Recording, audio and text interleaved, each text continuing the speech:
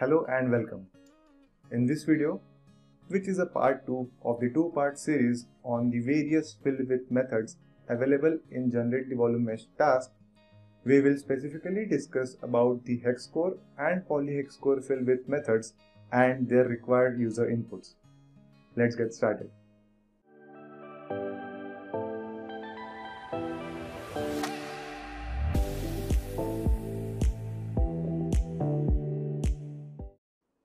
We will first discuss the hex core fill with method. The hex core volume mesh approach is a hybrid meshing scheme where axis aligned Cartesian cells are generated in the core region of the domain and tetrahedral cells are generated near the boundaries.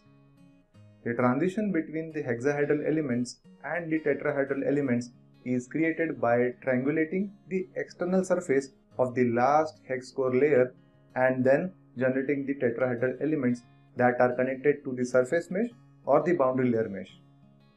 No pyramid elements are used to facilitate the hexahedral tetrahedral transition. The hex core approach is useful mainly for computational models with large internal regions and few internal boundaries such as intrusions or holes. Let us now use a demo problem to see this approach in action. Launch ANSYS Fluent in meshing mode. Go to File, Read and select Mesh and then pick the provided mesh file. Once Fluent finishes reading the file, you will notice that the watertight geometry workflow has been automatically set up and all the tasks till the add boundary layers task have already been successfully completed. The model we have here is that of a generic two element rear wing found on a Formula Series type race car enclosed within a virtual wind tunnel. Except for the inlet and the outlet, all the other sides of the wind tunnel and the wing geometry are considered as walls. The model consists of only the fluid domain with the wing considered as a void. Now go to the generate the volume mesh task. Here under fill with select hex core. Based on the selection, new user inputs appear in the task which are buffer layers, peel layers, min cell length and max cell length. Let us now understand each of these inputs and how they influence the hex core volume fill approach.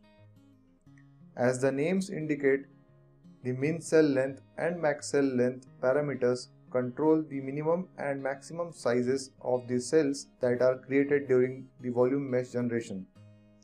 By default, Fluent automatically calculates these values depending on existing surface mesh of the computational model.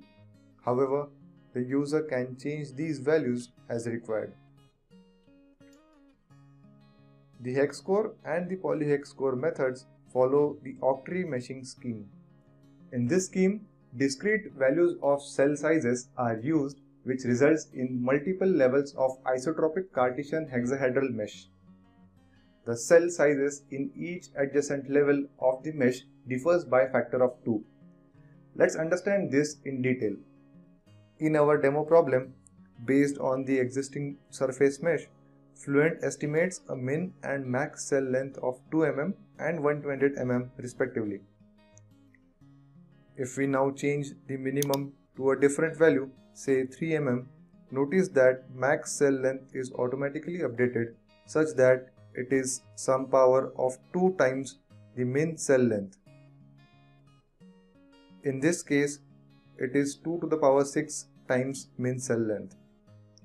On the other hand, if we change the maximum value, let's say 280, it is automatically modified such that it is some power of 2 times the mean cell length. Here, maximum value is set to 256 mm since it is 2 power 7 times the min cell length. Buffer layers are additional layers of Cartesian cells that are created at the transition location before stepping to the next size. By default, the number of buffer layers is set to 2. It is quite easy to see the impact of this parameter when looking at these images. The buffer layers are set to 1 for the image on the left and 3 for the image on the right. In the first case, there is a relatively rapid transition between two levels of the Cartesian mesh, whereas it is much smoother in the second case. The default value of 2 is generally sufficient for most cases. Let us now look at the peel layers parameter. These layers control the gap between the Cartesian mesh and the geometry or last layer of boundary layer mesh when they are included in the computational model. The smaller the number of peel layers, the closer is the Cartesian mesh to the boundary surface or the boundary layer mesh and vice versa. The gap is filled with tetrahedral elements which act as transition cells between the triangulated surface mesh or the boundary layer prism mesh and the core Cartesian mesh. The default value for peel layers is 1 which corresponds to a gap that is equal to the height of an ideal tetrahedral cell on the boundary face. If peel layers is set to 0, the gap size can be smaller than the ideal height which results in a mesh that contains the maximum number of Cartesian cells possible for the chosen parameters. Here is a comparison of two meshes where the one on the left was created with peel layers set to 1 and one on the right with peel layers set to 2. The larger thickness of the tetrahedral cell layer for the mesh on the right can be easily noticed. In almost all aspects, the polyhex core fill with method is identical to the hex core method except that the polyhedral elements are created instead of tetrahedral elements. As discussed in part 1, Polyhedral meshes are known to reduce the overall cell count of the mesh. As a result, solution convergence is accelerated. Furthermore, each polycell contains at minimum of 7 faces and is therefore surrounded by many adjacent neighbor cells resulting in better approximation of the gradients and lower numerical diffusion effects which are caused when the flow is not normal to the cell faces. The primary inputs for the polyhexcore fill with method are identical to hexcore method. Here is a side-by-side -side comparison of the two meshes for our demo geometry. Notice that in addition to the difference in cell type that is tetrahedral for hexcore and polyhedral for polyhexcore, there is also a difference in the total cell count and minimum quality with the polyhexcore mesh containing fewer higher quality cells. The core Cartesian mesh looks nearly similar for both cases. Based on originally estimated min and max size of 2 mm and 128 mm, considering the octree meshing scheme, there are 7 distinct layers of hexahedral elements with different cell sizes. At the transition location between levels, the larger cell is split into 8 smaller cells which is generally referred to as 1/8 octree transition.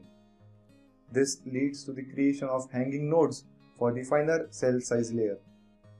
As a result, all hexcore and polyhexcore meshes created in ANSYS Fluent meshing are by default non-conformal type of meshes and hence requires the use of an appropriate solver such as ANSYS Fluent which can handle such meshes. Let us summarize what we learned. In this lesson, which is part 2 of the two part series on discussing the various fill with methods in the generate the volume mesh task of the ANSYS Fluent Meshing prototype geometry workflow, we focused our attention on understanding the hex core and polyhex core volume fill methods. We also discussed the required user inputs and how they influence the overall volume mesh generation in detail. With that, let's wrap up this lesson.